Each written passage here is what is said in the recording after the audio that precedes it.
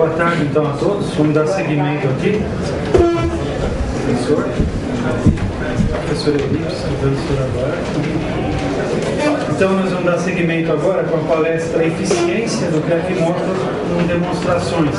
Então quem vai proferir essa palestra é o engenheiro Raimundo Coccolo, ele é italiano, nato, e ele é engenheiro eletrônico, Politécnico de Nápoles. Isso? Formou na Politécnica de Nápoles.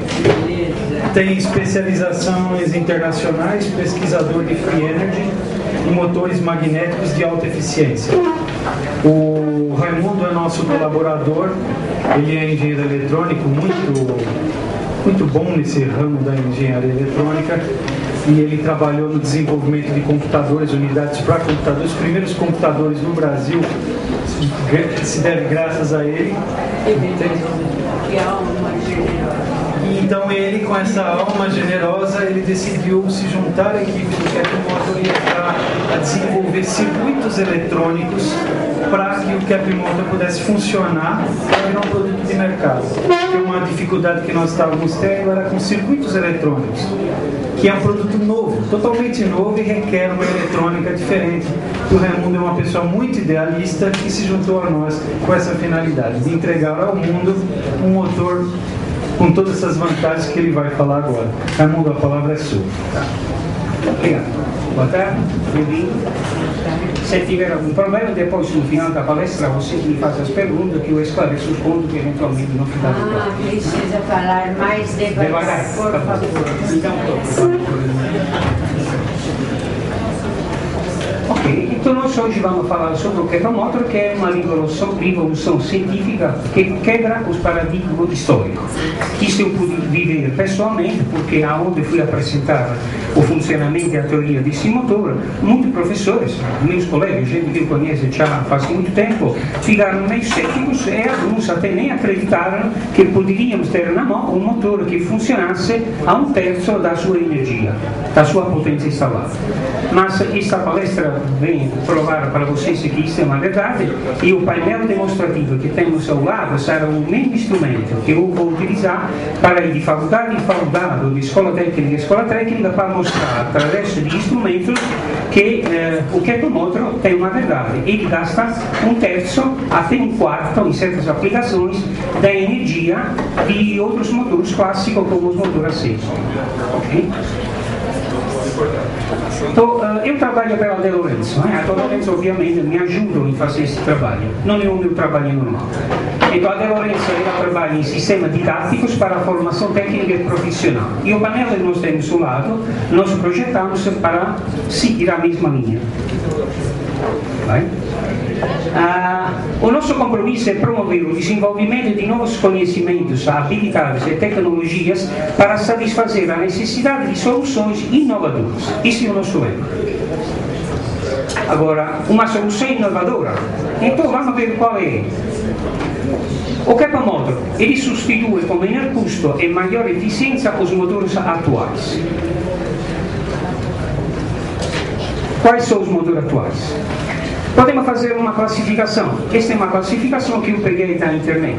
É válida para todos, para todos os tipos de motor. Eu, existem praticamente três tipos de motores no mercado, basicamente, que representam 98% do gasto mundial, da compra mundial de motor. São os motores de corrente contínua, os motores de corrente alternada e os motores universais, que podem trabalhar tanto em corrente contínua como em corrente alternada. O di continua sono di custo mais elevado, necessita de uma fonte de corrente contínua ou um conversor e tem velocidade ajustável. Isto é um plus, é uma vantagem. Os motores de corrente alternada são de baixo custo, eles são facilmente conectáveis na rede elétrica, são de construção simples, têm grande versatilidade e são fáceis de fazer manutenção. Os motores universais têm vantagem e desvantagem dos dois tipos.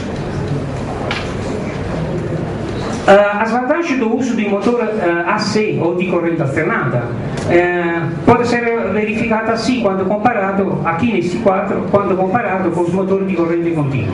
Eu fiz este quadro porque não vou voltar a falar sobre o motor de corrente contínua, visto que eles são inferiores em prestações ao, corrente, ao motor de corrente alternata. E a comparação que vou fazer daqui para diante será entre o Kepa Motor e os motores AC. Então, por que os motores assim, AC não são tão bons quanto os AC?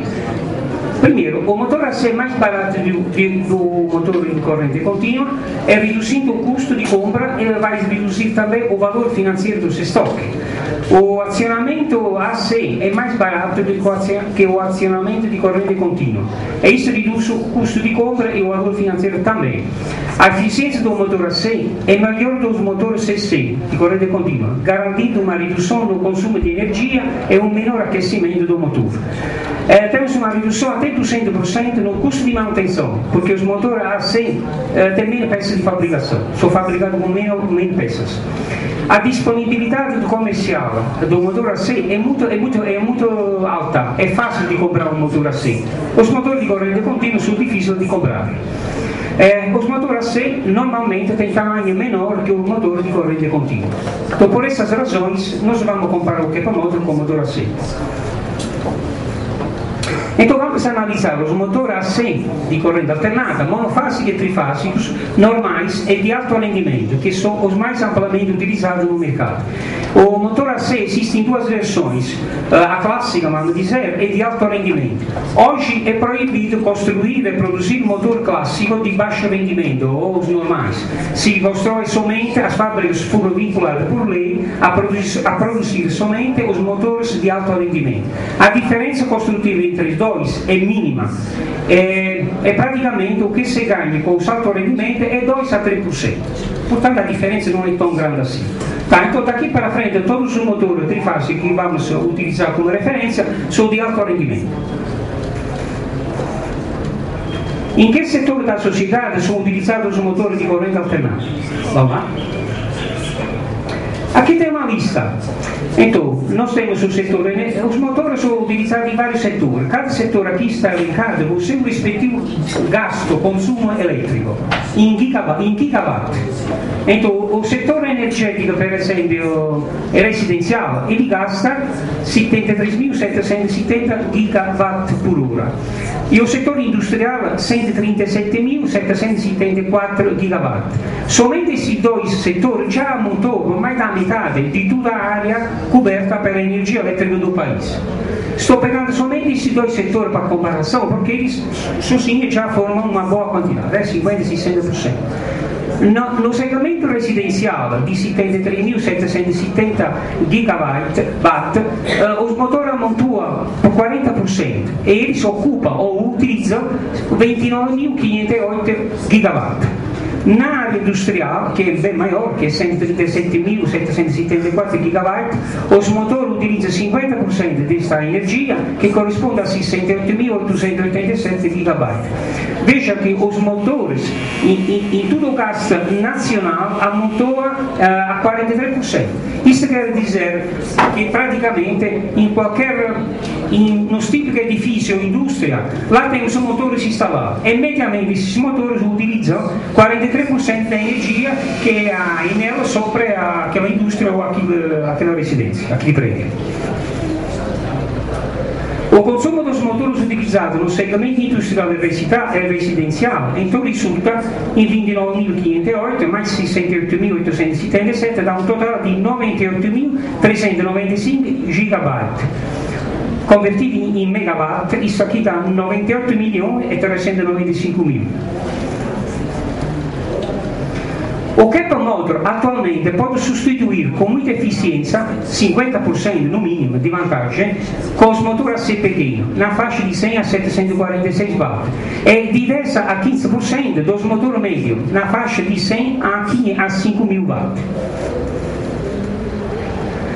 Aqui eu fiz um quadro comparativo. Se a gente pegar então o setor residencial e o setor industrial, cujo consumo está lá marcado, a utilização de motor percentual que estava lá marcada e assumindo que o motor tem CAP, tem 50% de rendimento, de vantagem sobre o outro, na área residencial e de 10% na área industrial, nós vamos economizar então 14 mil 754 gigawatt mais 6.889 gigawatt, dando un risultato di economia di 21.643 gigawatt. gigawatt.